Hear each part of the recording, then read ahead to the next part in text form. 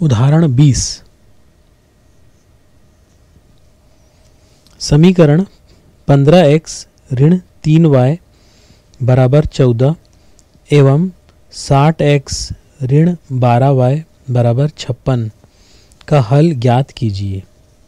हल। समीकरण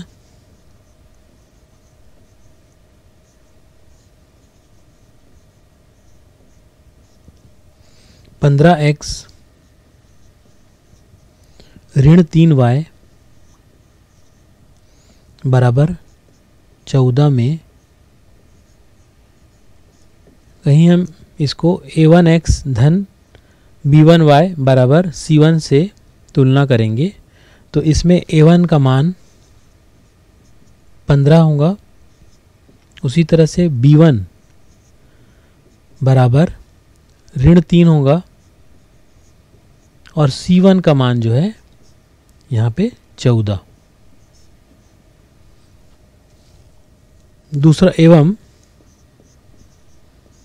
हमारा जो दूसरा समीकरण है, वो साठ एक्स ऋण बारह वाई बराबर छप्पन में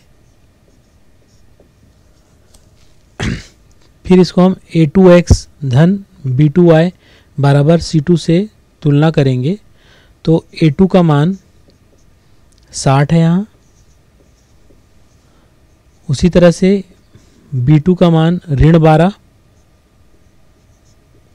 और सी टू का मान यहाँ पे छप्पन। यहाँ ए वन बटा ए टू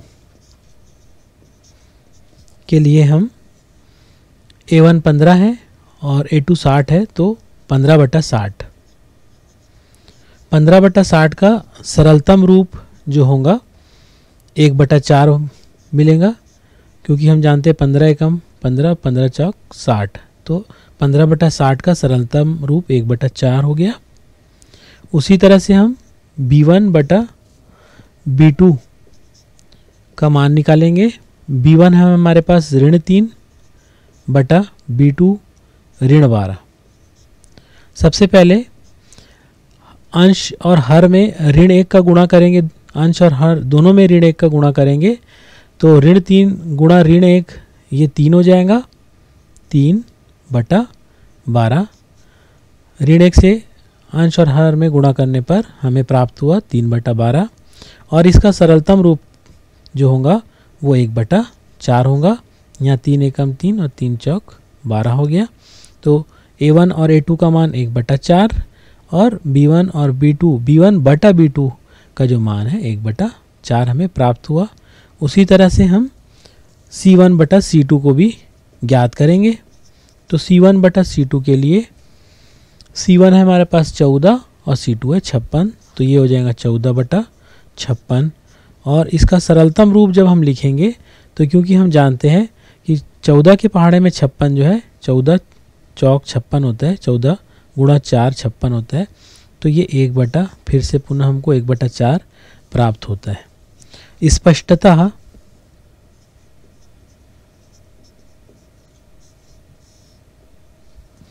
यहाँ पे ए वन बटा ए टू का मान बराबर है बी वन बटा बी टू के मान से, और ये भी बराबर है, बराबर सी वन बटा सी टू क्योंकि ए वन बटा ए टू बराबर बी वन बटा बी टू बराबर सी वन बटा सी टू बराबर एक बटा चार है।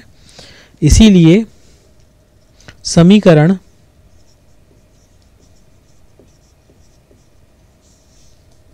के अनंत के अनंत अनंतता।